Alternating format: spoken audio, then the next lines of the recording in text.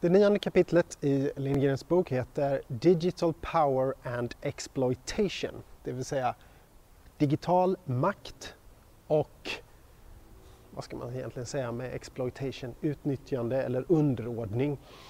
Och eh, det här kapitlet handlar om eh, så att säga vi tänker oss att internet är en fri och öppen teknologi. Vi tänker oss att internet är någonting som är tillgängligt bara man har en smarttelefon eller en dator. Men tillgången till internet är bara en del utav de maktrelationer som internet eh, så att säga, som utspelar sig på internet och som internet ibland förstärker och ibland underminerar.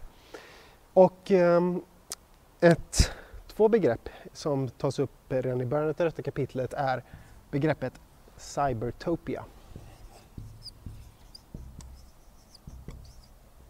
Alltså cyberutopin eller eh, begreppet utopia och utopi och sedan cyber framför. Och cyberutopier eller cybertopia är så att säga idén om att internet och digitaliseringen är någonting som plattar ut maktstrukturer. Någonting som gör att alla människor får så att säga mer eller mindre samma startpunkt. Det är ett eh, utrymme som karaktäriseras utav att man är fri att säga vad man vill, att uttrycka sig hur man vill och att varje röst, så att säga, röst i meningen varje människa som säger någonting säger detta på samma villkor. Internet är någonting som så att säga river ner gamla hierarkier och strukturer och gör det möjligt för helt nya grupper som kanske varit marginaliserade i tidigare samhällen, människor som man inte har lyssnat på, människor som kanske har varit diskriminerade och inte fått tillgång till det offentliga samtalet på samma sätt. Nu kan så att säga skapa en blogg, skapa ett konto på de stora sociala medierna eller eh, skriva eh, på en hemsida eller ett internetforum precis på samma villkor som alla andra. Det spelar ingen roll om man är rik eller fattig, om man har, är, är chef på ett stort företag eller anställd bara på golvet på ett företag eller vad man ska säga. Alla har samma röst på nätet. En kontrast i detta, eller varje gång det kommer ett, lanseras ett begrepp som säger det ena så lanseras det nästan alltid ett begrepp som säger det andra. Och eh, det är begreppet cybergetto.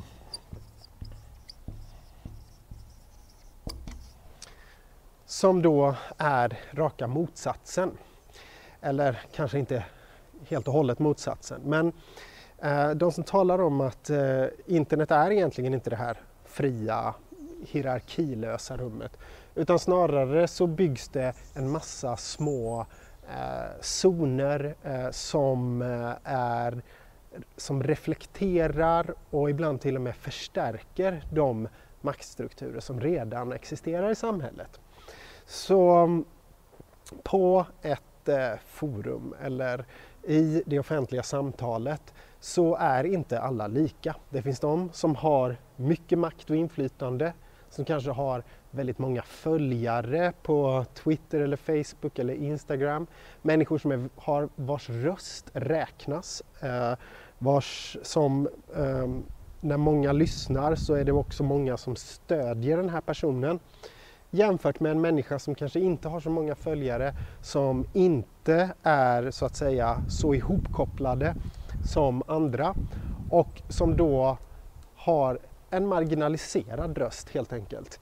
Eh, och eh, detta så att säga eh, gettoifieringen utav eh, internets olika platser är någonting som så att säga också kan förstärkas utav tekniken som sådan. Eh, det vill säga på till exempel eh, de flesta diskussionsforum på nätet så finns det olika roller man kan ha. Man kan vara moderator eller administratör och eh, sedan så finns det sådana som bara är vanliga användare och så vidare. Och de som är högt upp i hierarkin i ett internetforum eller som är moderatorer för en Facebookgrupp kan bestämma vilka som får vara med och vilka som inte får vara med. någon som är moderator på ett internet, eh, en, en grupp på internet kan ta bort inlägg som han eller hon inte tycker om, som inte passar in. Medan den vanliga användaren är helt utelämnad till detta och sällan så finns det tydliga regler eller lagstiftning som har reglerat detta. Utan om jag startar ett forum på internet så är det jag som bestämmer över detta. Medan den som använder gör det på mina villkor. Så jag kan bli så att säga en liten, eh, en liten minifurste över min egna lilla domän på internet. Den som skapar en Facebookgrupp är den som är administratör och den personen kan bestämma vem som får vara med och vem som inte får vara med. Och eh, det här kan ju då bli speciellt problematiskt när det kommer till väldigt stora grupper eller inflytelserika sammanhang. Låt säga att eh, ett väldigt viktigt ämne diskuteras på ett ställe på internet. Så viktigt att det påverkar politiken och samhället på ett, eh, på ett genomgripande sätt. Och eh, den här så att säga platsen på nätet är det bara ett fåtal personer som bestämmer över. De har inte valts, det finns ingenting som reglerar det, utan de får så att säga en de facto makt över just detta samtal. Eh, kritiker till det här säger att ja, men eh, så är det inte. Det är för att det finns fortfarande alltid möjligheten att skapa ett nytt forum. Om jag går med i ett forum på nätet eller en grupp på nätet och ehm, eh, blir utsparkad därifrån så har jag alltid möjligheten att starta en ny grupp eller ett nytt forum eller en ny blogg eller en ny hemsida. Det finns alltid möjligheter för det här systemet att läcka.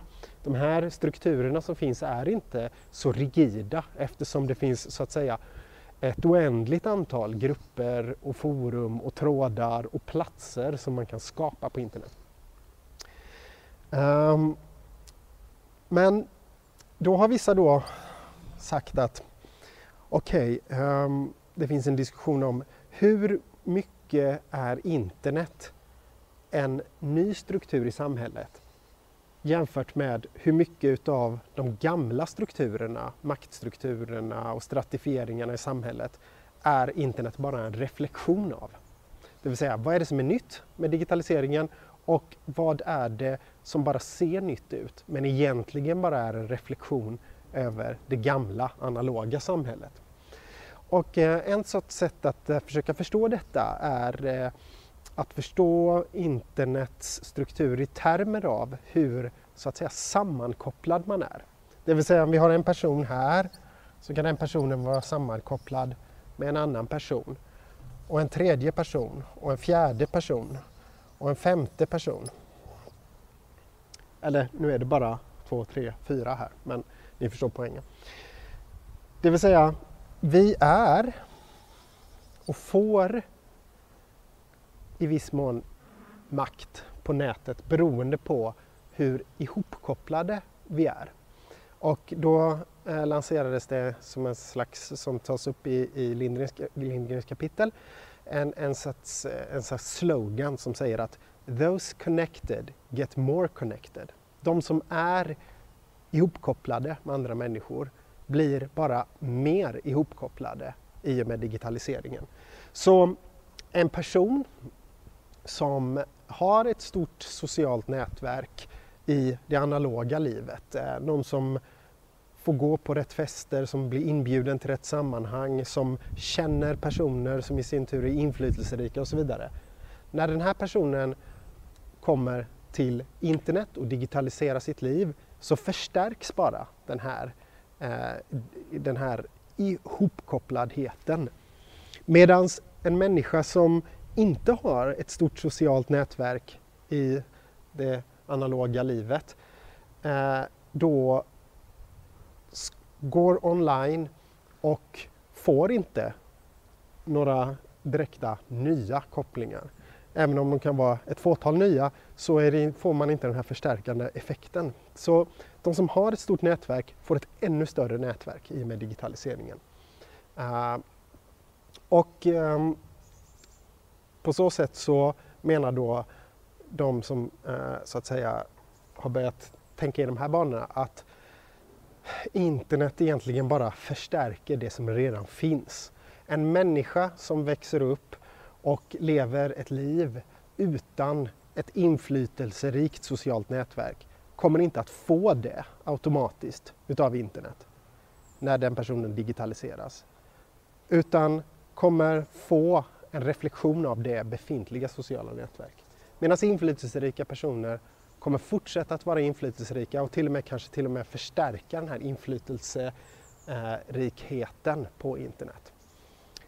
Det här är så att säga generella trender. Vi kan alltid hitta motargument. Vi kan hitta enskilda människor från eh, någonstans på landsbygden, långt ifrån stora städer och så vidare som har skapat en blogg och helt plötsligt blir det en jätteberömd influencer. Sådana motexempel finns alltid till eh, alltihopa. Det här rör sig om generella trender snarare än specifika fall. Ett annat begrepp som lanseras i det här, och det blir många begrepp som är på cyber eh, i hela den här boken, är begreppet cybertribalism.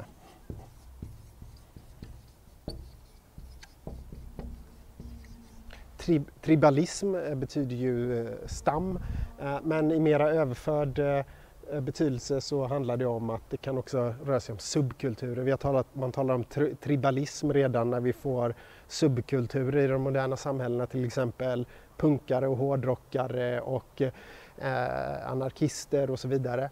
För att beskriva så att säga eh, stamliknande formationer som baserar sig på en viss stil eller en viss åsikt eller en viss eh, livsstil kan man säga.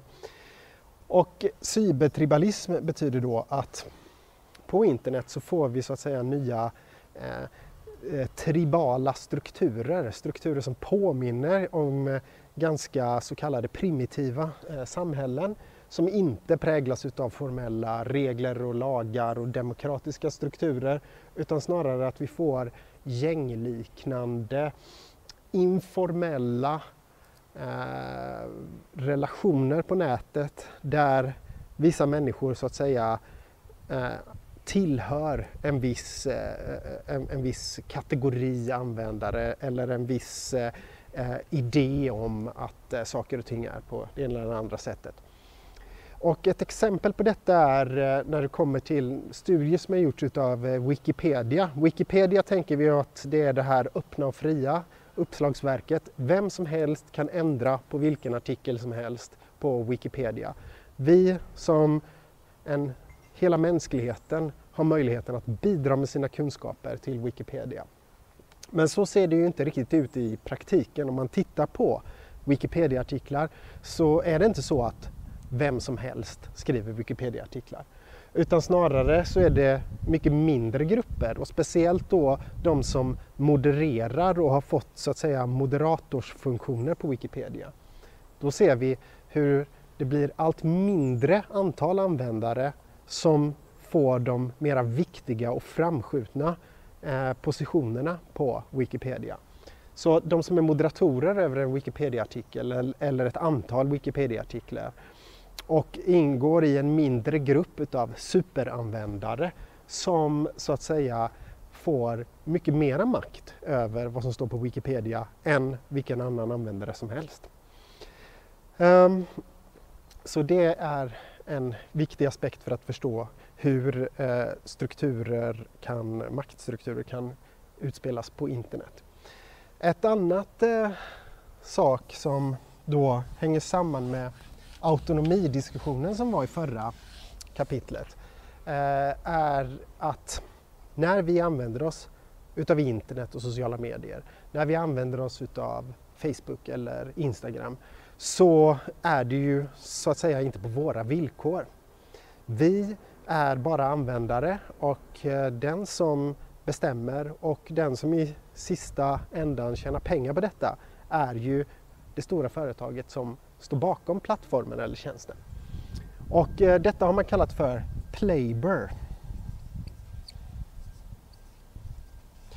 Så, vilket är en ordlek såklart, eh, begreppet labor eller arbete och eh, play som i att leka eller använda.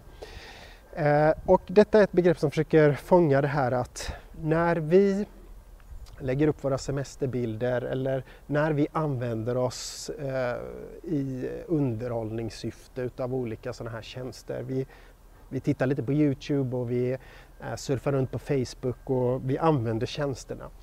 Så mm, har vi en slags användarupplevelse om, som går ut på förströelse eller konsumtion eller att vi eh, eh sitter och låter tiden fördrivas på de här eh, tjänsterna. Vi använder dem för förströelse snarare än på ett, eh, eh, ett särskilt seriöst sätt. Men det som vi egentligen gör är ju att vi så att säga arbetar. För någonstans så finns det ju någon som tjänar pengar på detta. Facebook tjänar pengar varje gång jag använder det. Youtube tjänar pengar varje gång jag tittar på en Youtube-klipp. Eh, Instagram tjänar pengar varje gång vi laddar upp en bild och eh, får kommentarer på den. Eller varje gång vi tittar på bilder på eh, Instagram. Det vill säga, och det här har man så att säga tänkt om på olika sätt. En sätt att tänka är att eftersom de här sociala medierna är gratis och det finns ingenting som kan vara gratis så är det vi som är produkten.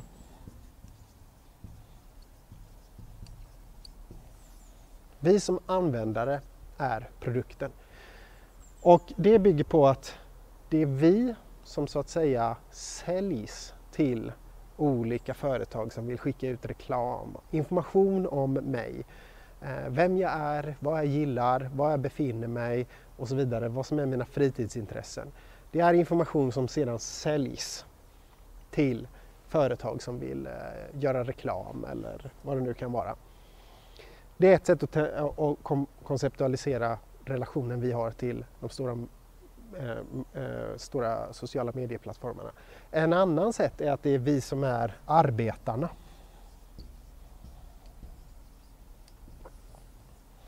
Och med det här sättet att tänka så bygger det på att Eh, arbete är det som skapar värde i ett samhälle. Om jag arbetar på en fabrik och tillverkar Volvobilar och monterar dem så är det mitt, mitt slit åtta timmar om dagen som sedan gör att en ny Volvobil kan säljas för 300-400 000 kronor. Så värdeskapandet är själva processen av att arbeta. Och om vi överför detta då till eh, sociala medier så är det när jag laddar upp på Facebook eller Instagram eller när jag skapar en video som den här videon och laddar upp den på Youtube så står jag just nu och arbetar gratis för att jag får ingenting betalt för det här arbetet om jag inte så att säga får en liten del av reklamintäkterna. Utan jag arbetar för att i sin tur Youtube, Google, Facebook eller Instagram ska tjäna pengar på mig. Uh, det här är två olika sätt att tänka. Eh, jag menar inte att det ena är mera rätt eh, eller falskt jämfört med de andra men oavsett vilket så är det ändå så att trots att Facebook och Instagram och Twitter och så vidare, alla dessa tjänster är gratis, vi betalar ingenting för dem, så finns det alltid ett pris här. Det skulle eh, inte annars fungera att ha stora serverhallar och betala för en massa bandbredd och så vidare. Eh, och de här företagen skulle inte vara några av världens största företag och definitivt de mest framgångsrika teknikföretagen i hela världen om det inte vore för att någonstans så cirkulerar det givetvis väldigt stora pengar men det är sällan vi som betalar för det. Så det här kapitlet går ut på att det finns olika typer av sätt som eh, eh, de analoga strukturerna, maktstrukturerna och hierarkierna återspeglas på internet men också olika sätt att försöka förstå på vilka sätt som de här strukturerna förändras. Å ena sidan så ser vi att eh, de här strukturerna och hierarkierna kan rivas ner. Vi får nya möjligheter till att uttrycka oss på internet. Å andra sidan så ser vi att vissa av de här strukturerna kanske förstärker de hierarkier som redan finns. De kanske skapar helt nya hierarkier. Det fanns inte hierarkiska uppslagsverk tidigare även om det då var Ehm, ja, eh, Encyclopedia Britannica som gav ut det som hade den sista makten över ordet. Så idag så finns det många små uh, små småpåvar där ute som bestämmer över Wikipedia-artiklar. Så makten ser alltid annorlunda ut, hierarkierna ser annorlunda ut. Men att på ett enkelt sätt säga att internet bara har rivit ner alla hierarkier, eh, det är definitivt en återvändsgränd. Eh, men att säga att internet är helt strukturerat och hierarkiskt och att vi inte har någon makt är också inte heller rätt att säga. Utan man måste så att säga tänka från fall till fall. Vad, hur utspelar sig hierarkier och maktstrukturer just här? Och det kan skilja sig väldigt mycket för ett annat ställe.